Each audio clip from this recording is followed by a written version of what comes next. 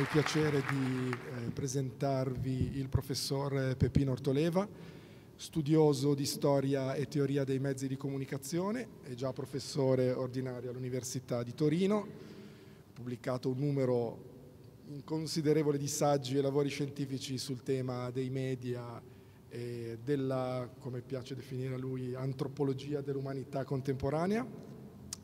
Il suo prossimo lavoro, Miti a bassa intensità, eh, uscirà tra febbraio e marzo per Inaudi nelle librerie e parlerà proprio di, del mito nella società contemporanea e dei miti della società contemporanea, poi ci spiegherà che cosa intende, sonda fenomeni come anche eh, la criminologia che producono appunto eh, miti, miti che sono un punto di riferimento per la società e producono identificazione e anche in certi casi sentimenti di repulsione e paura.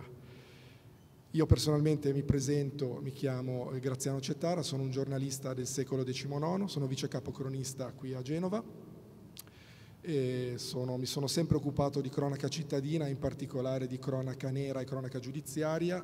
Negli ultimi vent'anni, buon peso, mi sono occupato di molti dei principali fatti di sangue, fatti di cronaca nera e poi di scandali e casi giudiziari, sostanzialmente dal G8 ai giorni nostri.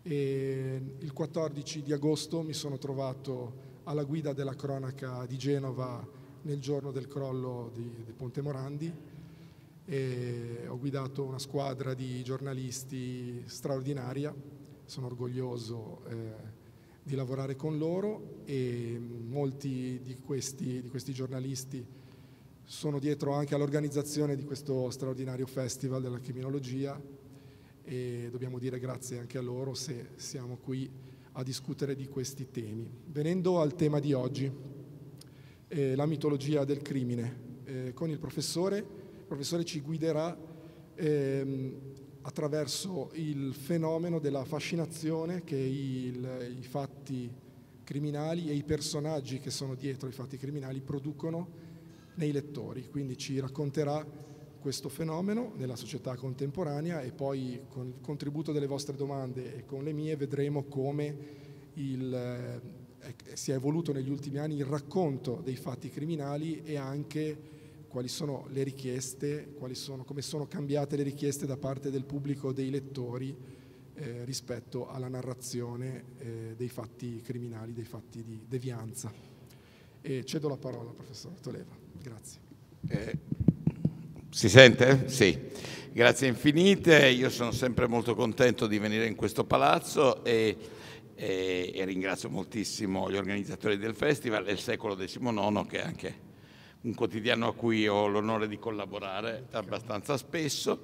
E, dunque, il mio tema oggi, eh, lo dice il titolo, Mitologia del crimine, eh, è perché i racconti che parlano di crimini e di criminali eh, esercitano questo fascino che tra l'altro è antichissimo perché eh, prime, le prime, i primi organi di stampa che hanno notizie, eccetera, già fine Settecento, inizio Ottocento, eh, hanno la cosiddetta cronaca nera, quindi la cronaca che è relativa a fatti di sangue, eh, hanno nella cronaca nera uno dei loro centri e come diceva uno degli inventori del giornalismo moderno, William Randolph Hearst, che poi qualcuno di voi ricorderà come il personaggio a cui è ispirato il film Quarto Potere di Orson Welles, eh, quello che i lettori vogliono è crimini e biancheria femminile, crime and underwear, in termini eh, più italiani sesso e sangue. Allora la domanda che ci faremo è perché questa richiesta che tutti in qualche modo comprendiamo istintivamente perché questa richiesta di fatti di sangue come elemento di attrazione, di curiosità, di interrogativi. E perché anche questa richiesta non sia da liquidare come voyeuristica morbosa o cose del genere, ma possa avere delle spiegazioni un pochino più profonde di così. Allora, introdurrò velocemente un concetto di fondo. Esistono dei miti contemporanei o, o viviamo in una società che si è liberata del mito? In fondo viviamo in una cultura eh, nella quale in tutte le principali lingue occidentali la parola mito ormai è associata alla falsità, alla bugia, eccetera, eccetera. È un mito, vuol dire, eh, vuol dire sostanzialmente è qualcosa di falso. È anche vero che poi i ragazzini a volte dicono sei un mito per dire eh, qualcosa invece di esaltante, però è un mito, vuol dire qualcosa di falso. E, ed è vero che molti anche dei teorici contemporanei sostengono che noi viviamo in una società senza miti perché eh, la scienza avrebbe preso il posto nello spiegare il mondo del mito, perché dovremmo avere bisogno di questi strani racconti mitologici quando abbiamo la scienza che va sempre più avanti e spiega tutto. Eh, Dall'altra parte alcuni invece dicono che noi non viviamo una società senza miti perché viviamo una società sostanzialmente banale, resa banale dalla tecnica e quindi non abbiamo più miti. In realtà eh, io credo che non sia vero e cercherò prima di tutto di dare una definizione della parola mito che ci aiuterà a capire quello che eh, dirò in seguito a proposito del crimine e del criminale. Il mito, nella mia definizione, è un racconto prima di tutto. I miti sono sempre racconti e infatti la cronaca ci racconta continuamente delle cose. Un mito è un racconto. Nella mia definizione che fa da ponte tra l'esperienza che noi effettivamente viviamo e possiamo verificare e i grandi enigmi ai quali l'umanità non sa rispondere. Eh, dal mito greco fino, come vedremo, ai miti contemporanei, il mito è sempre un racconto che ci collega con alcuni grandi temi irrisolti. I grandi temi irrisolti possono essere eh, la morte e quello che c'è dopo la morte, che come vedremo è un, qualcosa che ha molto a che fare con i miti della cronaca nera, così come, così come eh, se esistano o non esistano specie eh, diverse dalla nostra ma che agiscono come noi, così come eh, l'esistenza di creature superiori di tipo divino, sacrale e così via.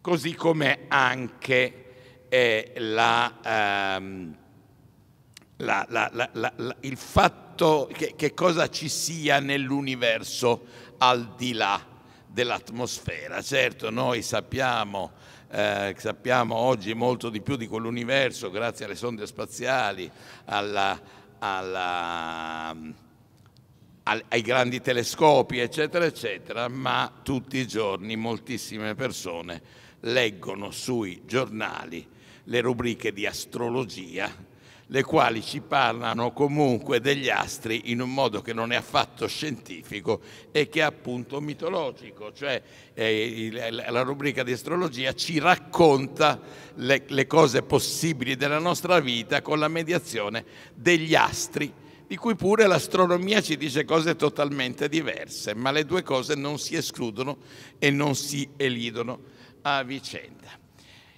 L'esistenza di miti contemporanei del resto non la, non la sostengo solo io, c'è una, una, frase che mi piacerebbe ritrovare e che io trovo bellissima di uno degli autori che in generale, che in generale, ci, eh, che in generale ci, ci, ci aiuteranno a capire quello di cui stiamo parlando, che diceva i miti moderni sono ancora meno compresi dei miti antichi, benché anche noi siamo divorati dai miti i miti ci incalzano da ogni parte, servono a tutto, spiegano tutto.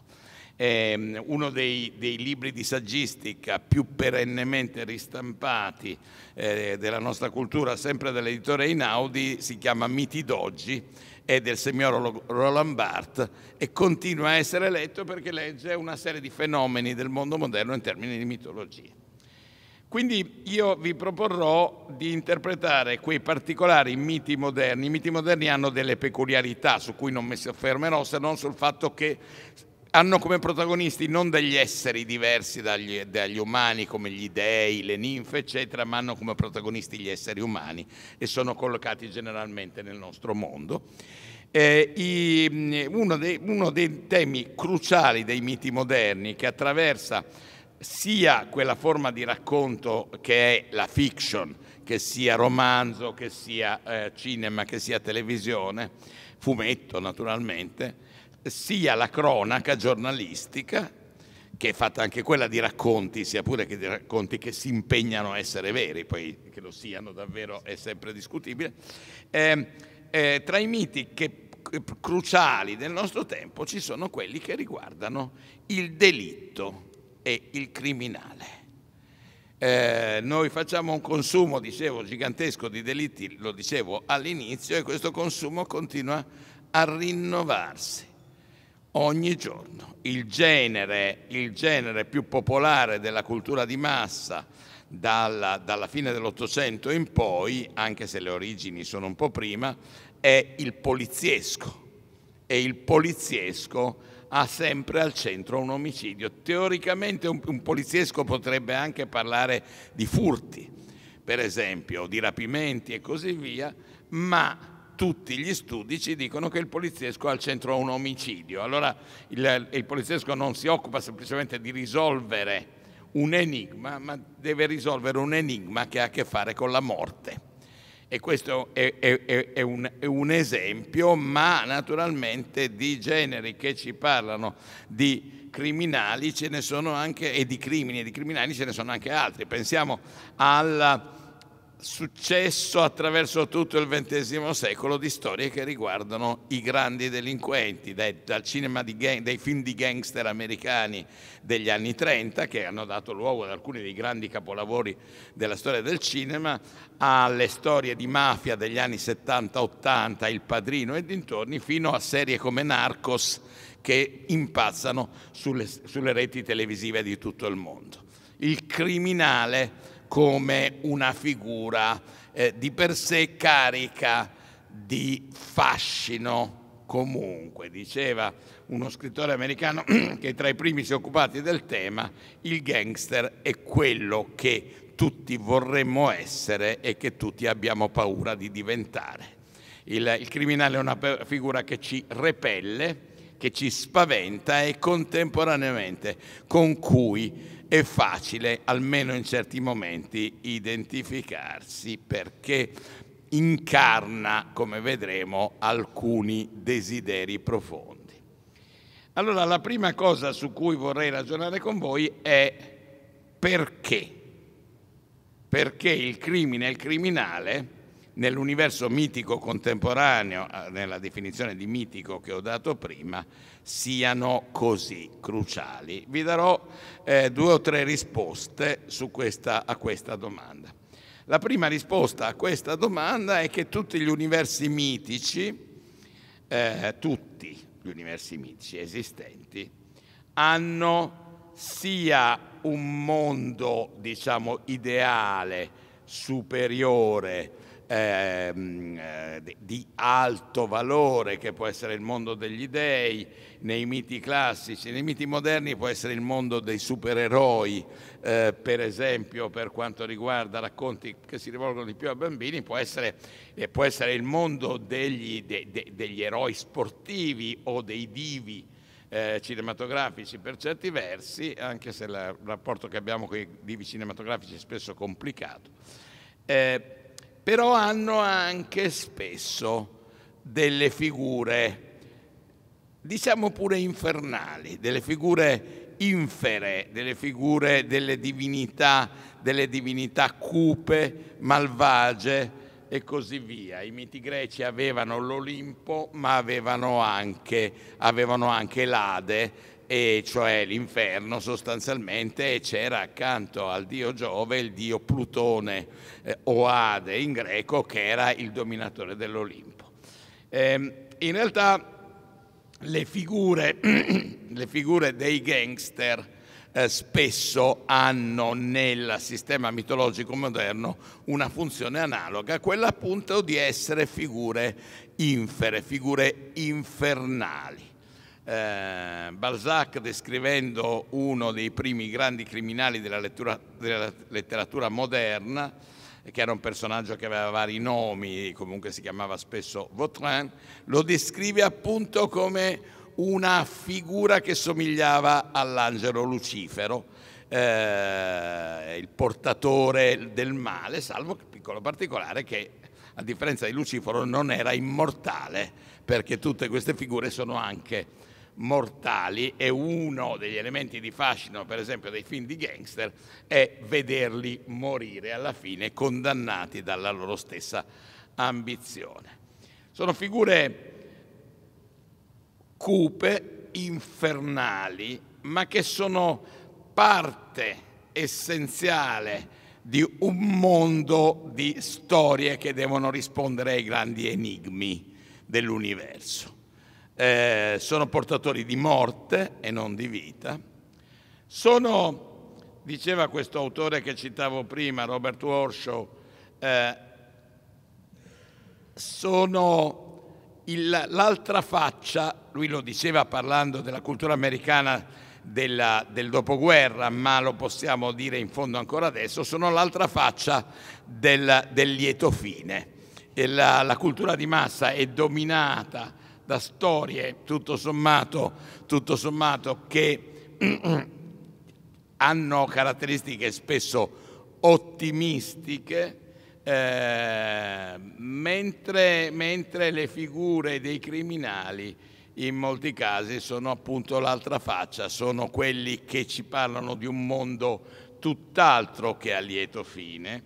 Raymond Chandler, che è uno dei grandi, dei grandi giallisti della storia, l'autore dei gialli di Philip Marrow, che ebbero grande successo negli anni 30, ma poi eh, sono stati raccont- riraccontati dal cinema parecchie volte, anche ripresi dalla televisione, a un certo punto diceva, diceva dei suoi polizieschi, eh, noi parliamo di un mondo dove i gangster possono dominare le nazioni e poco manca non governino le città, di un mondo in cui gli hotel, le case albergo, i ristoranti famosi appartengono a individui che hanno fatto la fortuna con la gestione di bordelli non è un mondo profumato, ma il mondo nel quale ci troviamo realmente a vivere.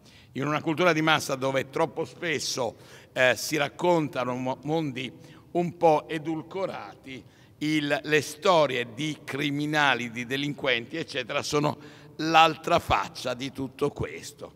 E sono storie che vengono da sotto, dal basso, uno dei termini chiave per indicare il crimine è underworld in inglese, il sottomondo, i bassi fondi, dove nell'underworld c'è la parte più, come dire, eh, oscura, i quartieri, i quartieri più bui delle città, eccetera, eccetera, ma underworld indica appunto il rovescio della città nella quale amiamo vivere, un rovescio che noi sappiamo che comunque esiste in tutte le città e di cui tutte le città non possono fare a meno.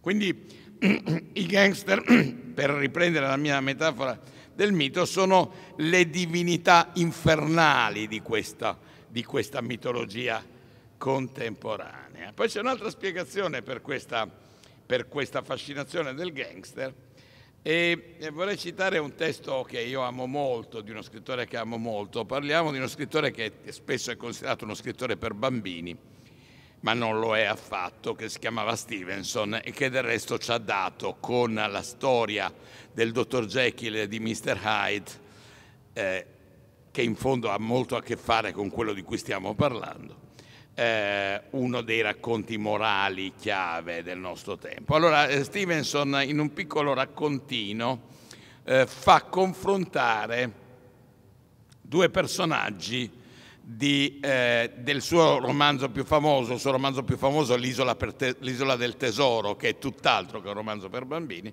e ci sono questi due personaggi che si confrontano, il buono e il cattivo della storia il capitano Smollett e il pirata Long John Silver.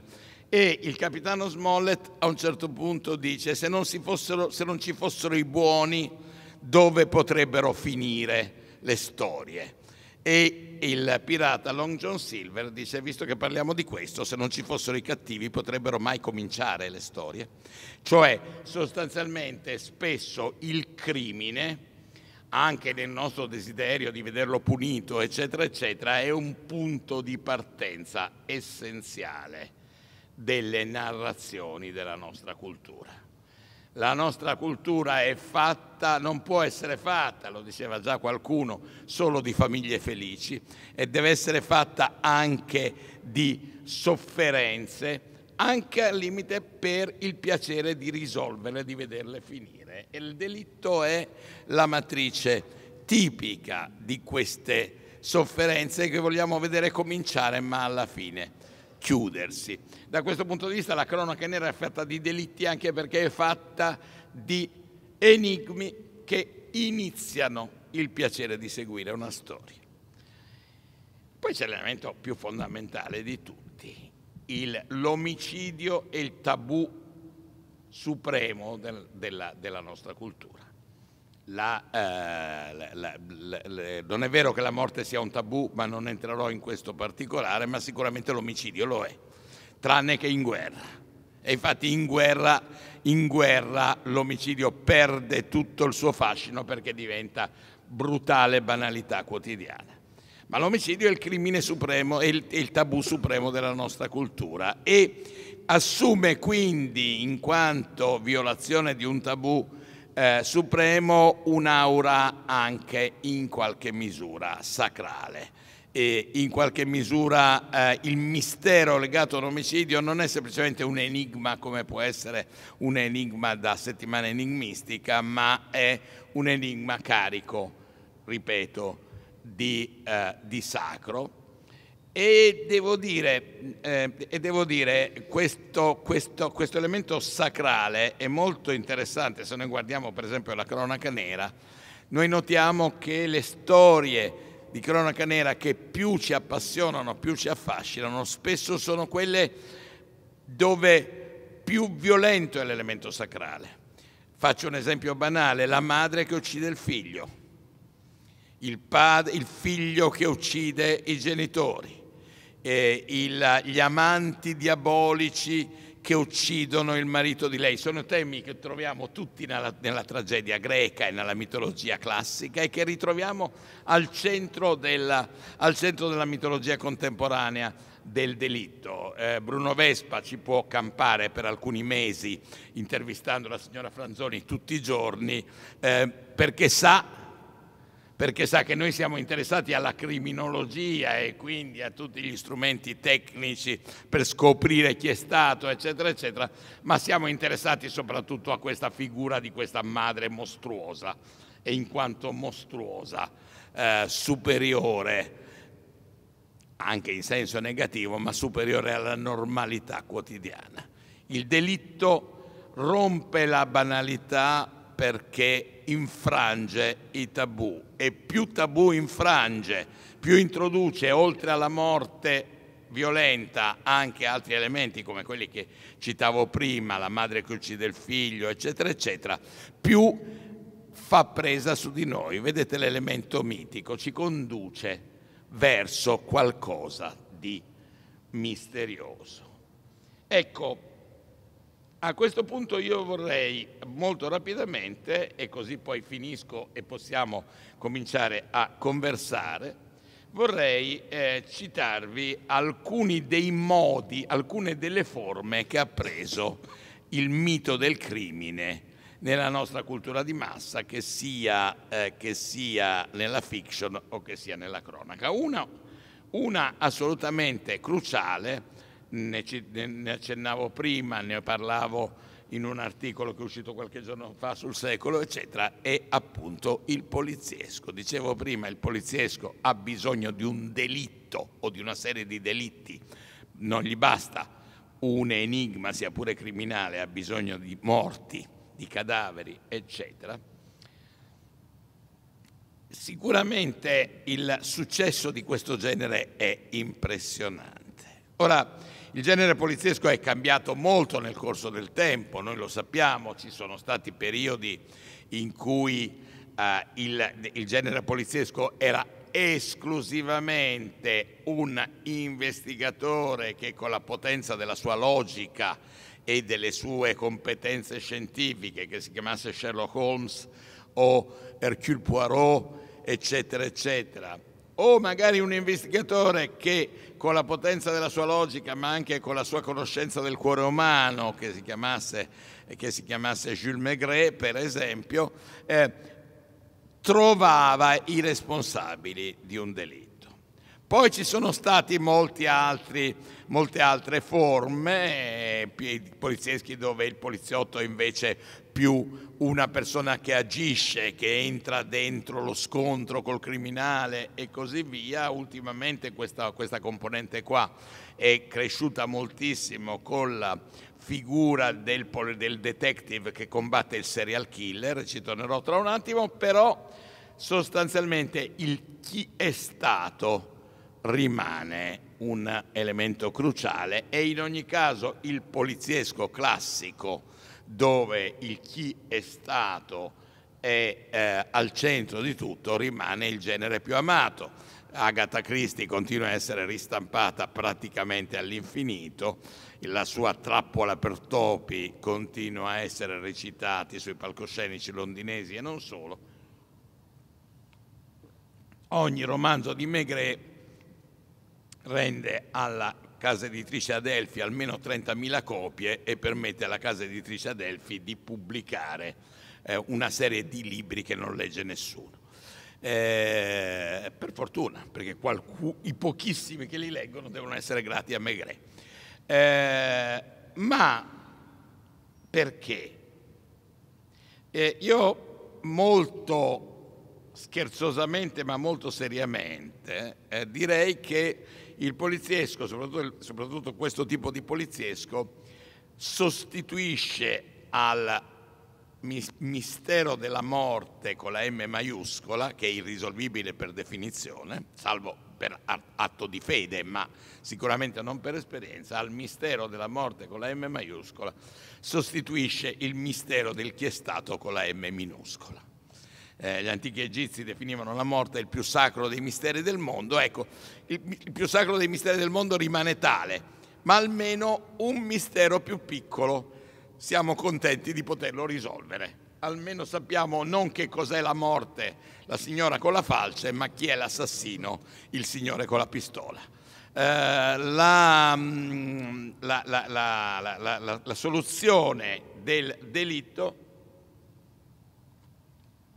ha la funzione di rassicurarci, contemporaneamente non è mai soddisfacente e questo è il motivo per cui, come notava un critico letterario che odiava i gialli, finito un poliziesco ne leggiamo subito un altro perché non, questa, questa, soluzione del mistero non è mai definitiva, perché ogni volta Maigret risolve un mistero e sa che ce ne saranno tanti altri che lo aspettano.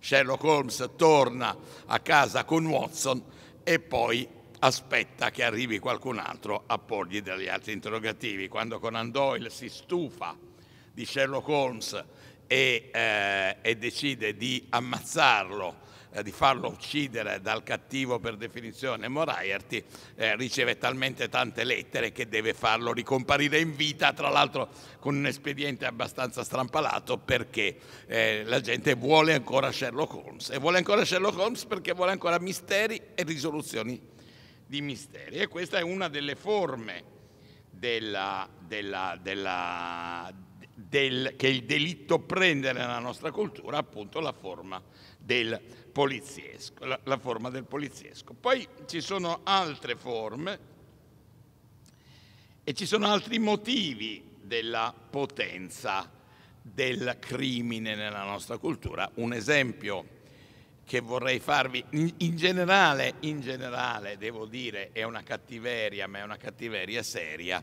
Noi non abbiamo più i gladiatori eh, dell'antica Roma e ci sembrerebbe mostruoso stare lì in un'arena a vedere due persone che si ammazzano a fare il tifo per uno dei due che ammazza l'altro, a parte che succede ancora, ma comunque magari più di nascosto, più clandestinamente Però in fondo la cronaca nera eh, giornalistica o televisiva è una forma leggermente eh, meno aggressiva dei, dei, dei, degli antichi ludi gladiatori. Noi comunque stiamo a, a, stiamo a, vedere persone che si ammazzano, invece di vederle nell'arena che si ammazzano davanti a noi, leggiamo le loro storie con grande interesse e grande curiosità. Ci sono giornali che parlano solo di quello, c'è gente che compra solo quei giornali, perché vogliamo vedere la gente che si ammazza, solo che li vogliamo vedere un pochino a distanza. Eh, una, eh, uno dei generi eh, dominanti di questi ludi gladiatori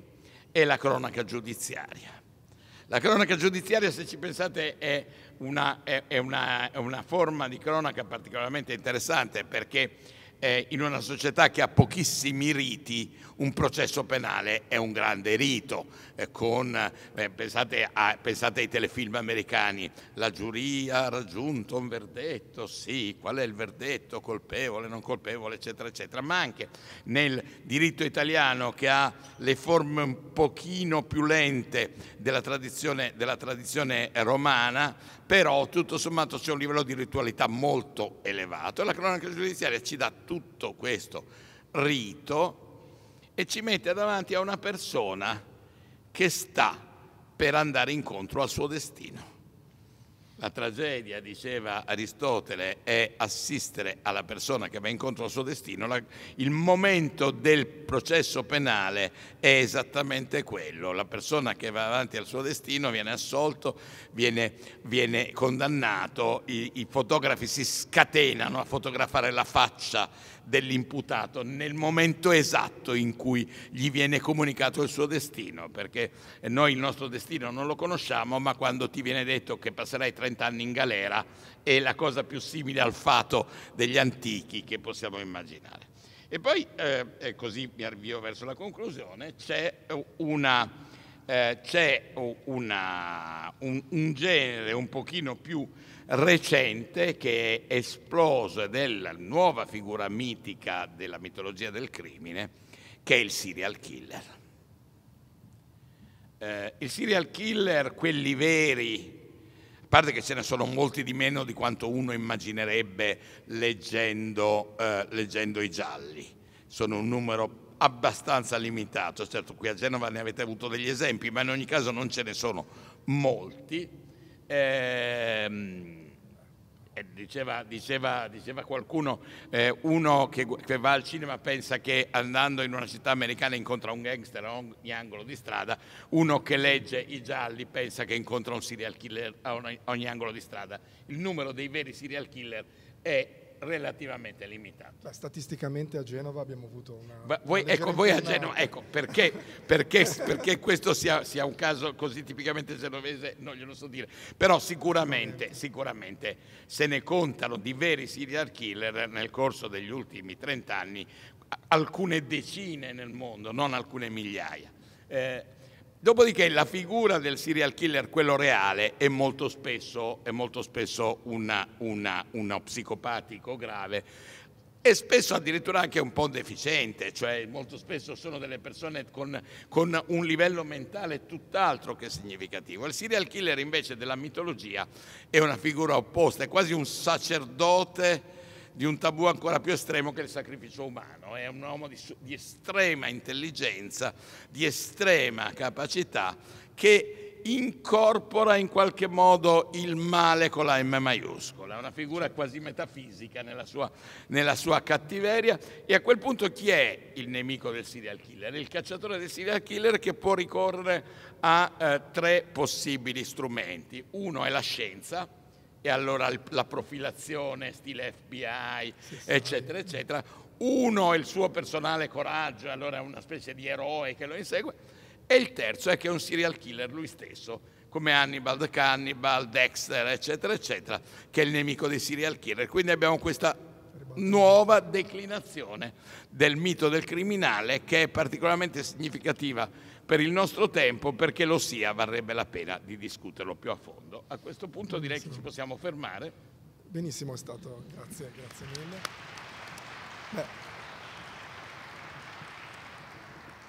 abbiamo visto che connaturato alla, al concetto di mitologia del crimine c'è il racconto, inevitabilmente.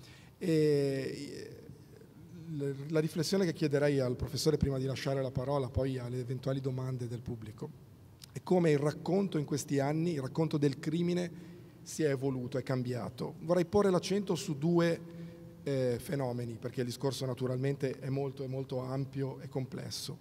Il fenomeno della confusione di ruoli, vale a dire il giornalista, eh, il poliziotto, il magistrato che dalla realtà passa alla finzione, che diventa romanziere e traendo spunto dalla sua esperienza sente il bisogno di raccontare fatti inventati. E questa è una cosa che accomuna, come vediamo tra gli autori che impazzano in libreria, accomuna i giornalisti, ma anche i poliziotti, anche i magistrati.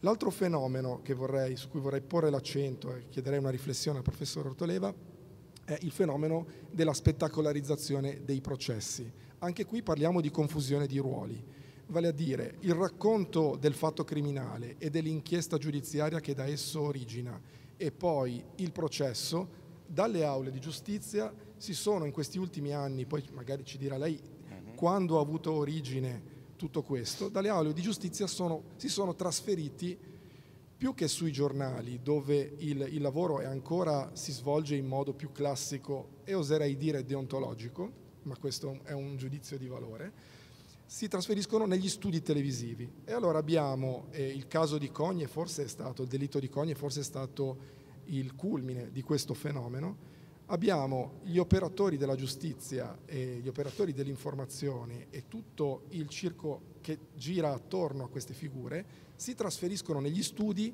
e trovano il colpevole, trovano il movente, fingono, immaginano, si illudono di trovare il colpevole e il movente davanti al grande pubblico, davanti a una telecamera, con un modellino davanti, senza fare riferimenti specifici certo. a nessuna trasmissione, ma faccio riferimento per esempio a porta a porta, con eh, invitati che diventano prima opinionisti e poi si trasformano in parti in causa nel processo reale, diventano, sfruttando la platea, diventano consulenti delle famiglie delle vittime o dei, dei carnefici e in una confusione di ruoli dove non si sa più dove la consulenza venga discussa e dove debba essere fatta valere, se davanti al grande pubblico o se davanti, come si dovrebbe, come vuole l'ordinamento, davanti al giudice. Ecco, una riflessione su questi due aspetti. Eh, io rispondo a queste due domande, poi, poi eh, lascerei un po' di domande al pubblico così poi eh, rispondiamo anche, anche, alle altre. Allora, per quanto riguarda la confusione dei ruoli, eh, il discorso è complesso perché ci sono eh, allora, c'è una tendenza, eh, una tendenza, abbastanza caratteristica eh, della cultura degli ultimi 30 anni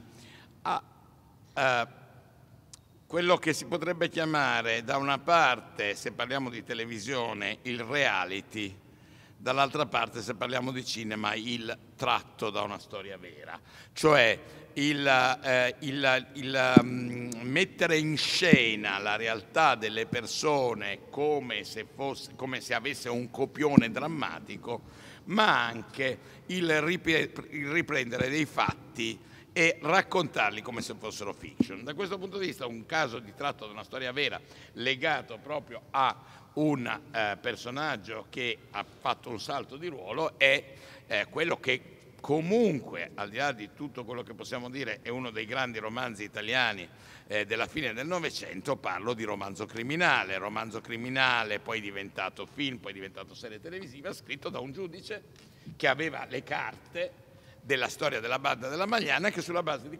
carta, eh, di quelle carte crea un romanzo tratto da una storia vera. Eh, chi, chi, ha letto Romanzo criminale il romanzo si rende conto che i passaggi tra il, la documentazione, la supposizione, l'invenzione sono continui. La mia personale convinzione è che in tutti i campi del sapere invenzione e scoperta siano complementari. Eh, cioè bisogna sforzarsi eh, con l'immaginazione per poter scoprire le cose, il che non significa che poi non si debba verificare prima di dire, però eh, che comunque l'immaginazione sia uno strumento essenziale di conoscenza e viceversa che la conoscenza sia uno strumento essenziale dell'immaginazione. Diciamo però che nell'epoca attuale c'è una convergenza tra questi due elementi. Dall'altra parte c'è una forte tendenza della narrativa ad andare verso due o tre direzioni che sono complementari a questo. Una, una è la direzione di fare, di fare, del detective una figura sempre più varia. Il detective può essere l'investigatore privato, ma lo è sempre meno, può essere più di una volta il poliziotto professionista, può essere anche spesso un poliziotto professionista che poi beve, si droga, fa di tutti i colori, ma comunque un poliziotto professionista, può essere anche il medico legale, c'è una grande tendenza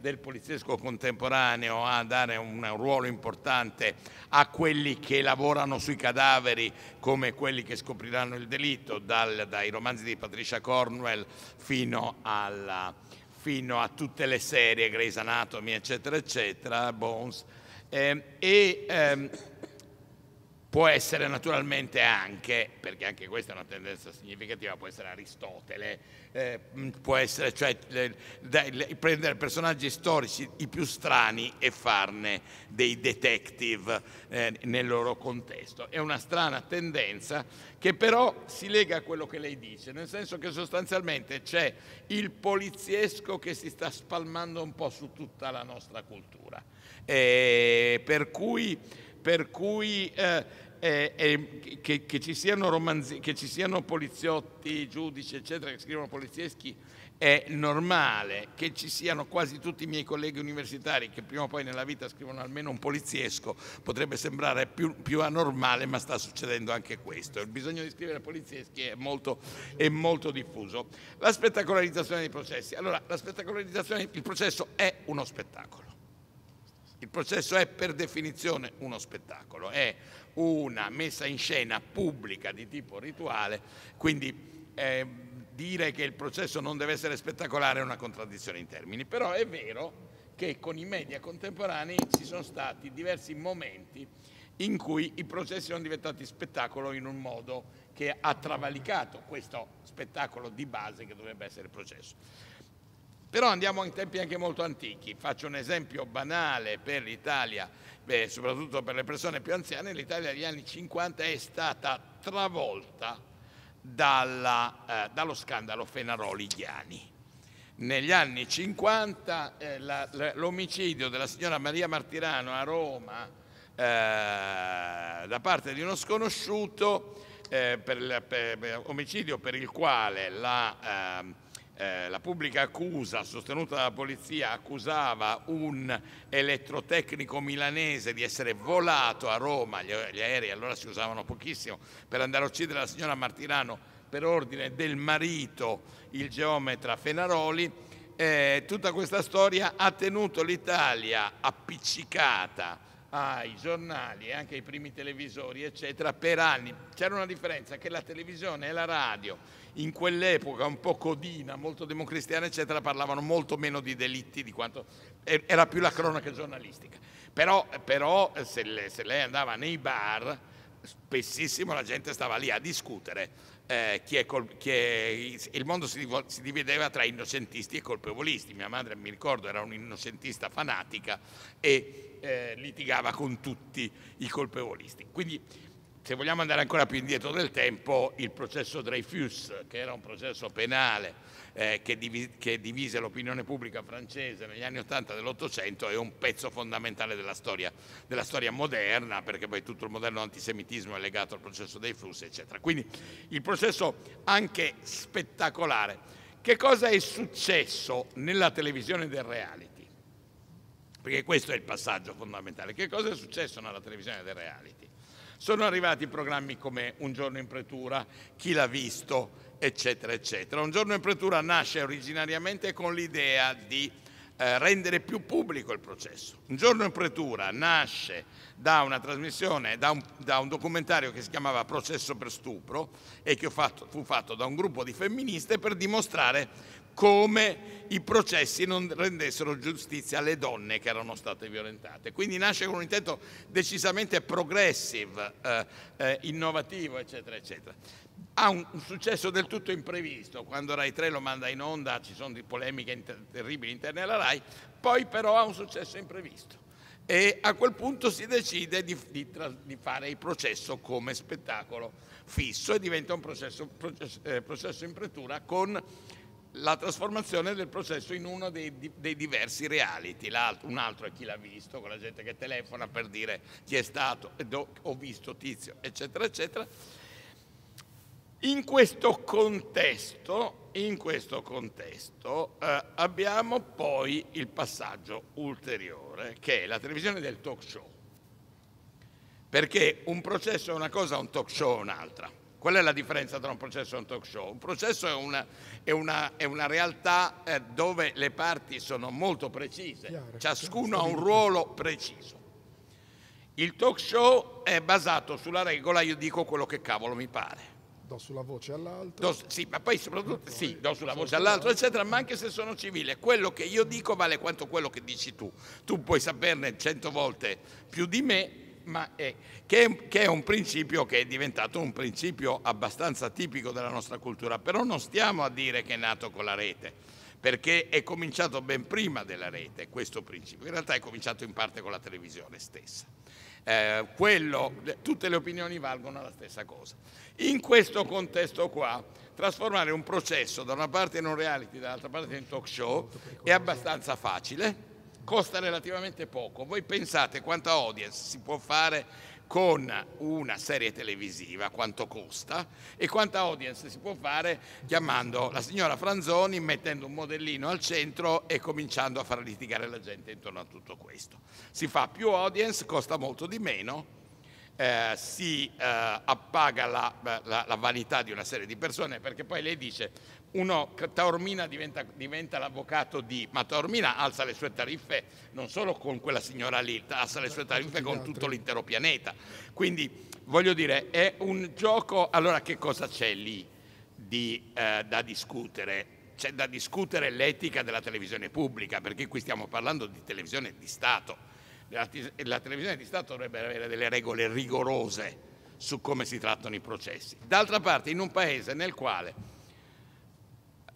non voglio fare l'innocentista, anche se lo sono, eh, nel quale un signore è stato, è stato condannato per un mezzo DNA, sto parlando di Bossetti e del caso di Yara Gambirasio, dopo che il ministro degli interni aveva fatto una conferenza stampa dimenticandosi totalmente dell'esistenza della presunzione di innocenza nella Costituzione per dire noi abbiamo trovato il colpevole dell'omicidio di Ara Gambirasio e lo è certamente perché c'è il DNA e così via. Lei capisce, vogliamo parlare di spettacolarizzazione dei processi, un ministro degli interni così andrebbe... Si comincia da lì. Ecco. Ok.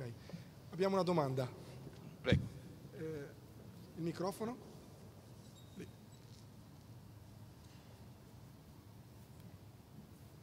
Buongiorno, eh, più che domande sono riflessioni e integrazioni, mm, in parte mi avete già un po' eh, anticipato.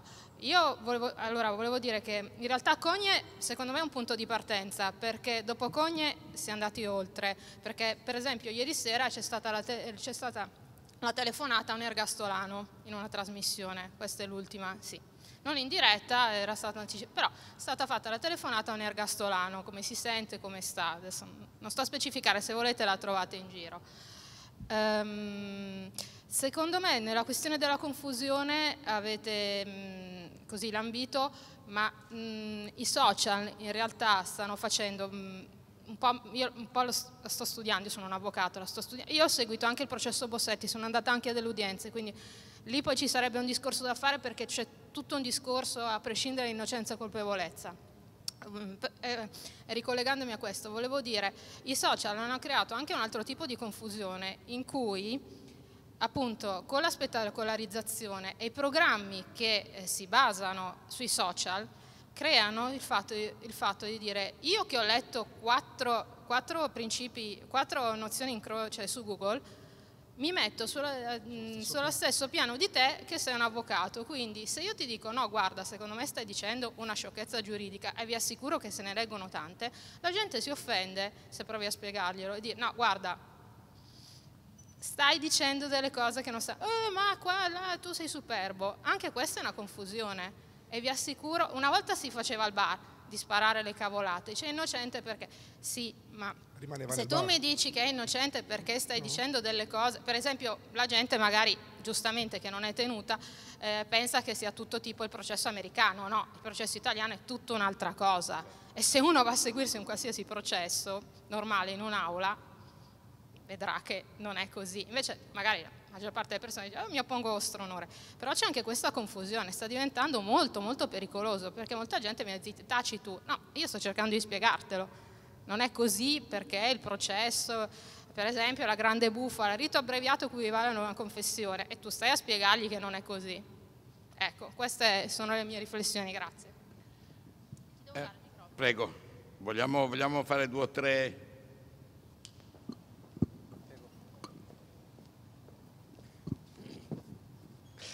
Lei ha detto um, uccide i figli, il, uccide la moglie, eh, uccide, mm, cioè in famiglia si uccide. Ecco. Come mai? Non ce l'ha spiegato, non ce l'ha detto.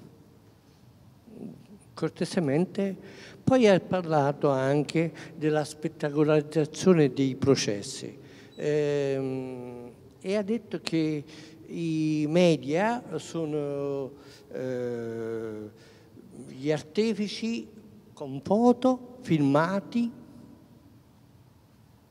ehm, anzi ha parlato anche di Bruno Vespa che, eh, vabbè, io sto dicendo, ah, sì, esempio, indubbiamente, ha detto che Bruno Vespa affronta questi, eh, queste occasioni per pubblicizzare se stesso e, e chi fa parte di quella, chiamiamola, tra virgolette, combriccola. Ecco, mi fa mi risponde a queste mie domande? La ringrazio.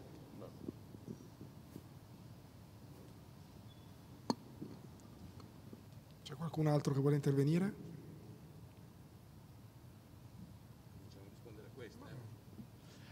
Allora, eh, io non... Eh, allora, per quanto, riguarda, per quanto riguarda la questione della eh, de, del, del, come vengono eh, raccontati i processi, dell'emergere di un'opinione, di, di un'opinione che pensa di essere pari a tutte le altre, è un problema molto grosso di cui i social io credo sono un veicolo, ma non possono essere considerati, non possono essere considerati eh, l'iniziatore e neanche la causa principale.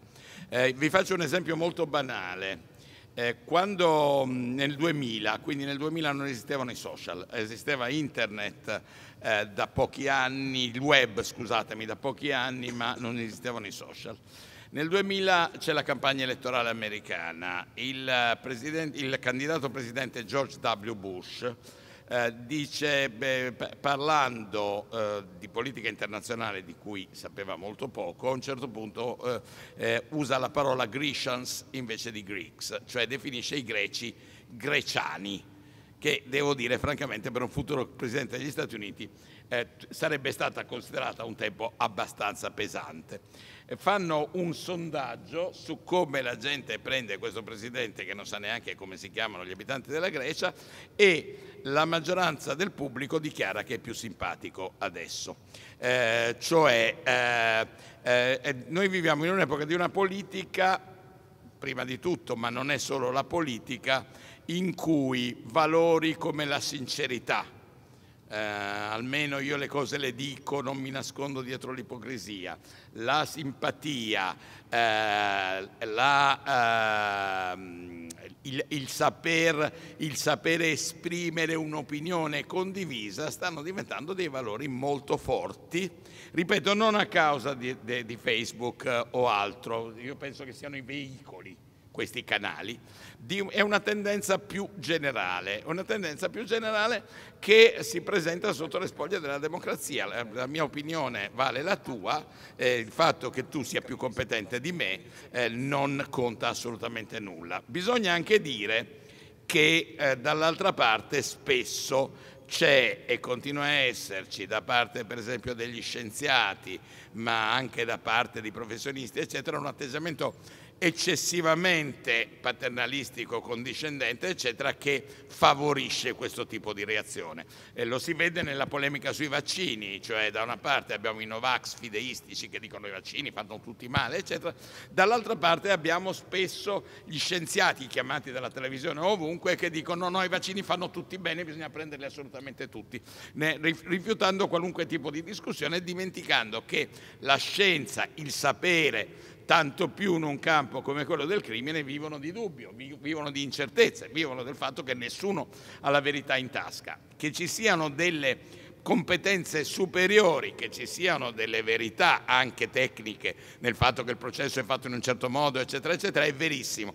Probabilmente bisogna accettare che viviamo in una società nella quale comunque bisogna accettare come interlocutori tutti costoro, salvo poi favorire la, eh, dire, l'apporto della competenza superiore. Io la metterei in questi termini. È una società dove tutti possono dialogare, dove bisogna favorire l'apporto della competenza superiore. Io lo vedo nelle istituzioni educative, i miei colleghi che sono troppo ex cattedra e non tengono conto che i ragazzi hanno Wikipedia, eccetera, molto spesso non riescono a dialogare. Quelli che tengono conto del fatto che i ragazzi poi magari mentre loro parlano vanno su Google a vedere quello che loro stanno dicendo, eccetera, eccetera, ma dialogano con tutto questo e fanno capire, fanno accettare la loro superiore competenza, a mio vedere sono quelli che ottengono i risultati pedagogici migliori. Però sicuramente è una fase molto difficile da questo punto di vista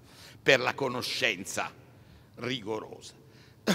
per quanto riguarda io non, io non, ho la spiegazione su perché le persone uccidono i figli, perché non è il mio tema. Il mio tema è perché i, i, fenomeni come una madre che uccide un figlio eh, attira l'attenzione pubblica. Questo è il mio tema, perché attira l'attenzione pubblica. Dire, dirò di più, io sono molto preoccupato di una domanda del tipo perché la madre uccide un figlio, perché tra i tanti aspetti della spettacolarizzazione del crimine che noi abbiamo c'è anche la psicoanalisi indiretta di persone di cui non sappiamo niente. Tra gli esperti che vengono chiamati spesso ci sono gli psicologi, che ci spiegano le motivazioni della, de, di un assassino senza avere mai visto questa persona, senza avere mai visto il contesto e così via. Cosa che è ancora più inaccettabile dell'avvocato Taormina che si fa pubblicità attraverso la trasmissione, perché lo psicologo le motivazioni vere di una madre che uccide un figlio, per capirle ci deve mettere probabilmente mesi di lavoro sulla madre, sulla sua storia. Non sono io che sono in grado. Io però sono colpito dal fatto che tra i temi che attirano più l'attenzione, anche morbosamente, c'è il fatto che la madre uccide il figlio.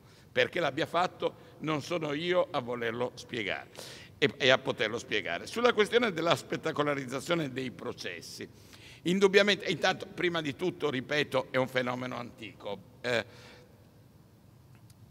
ci sono vari modi di spettacolarizzare i processi.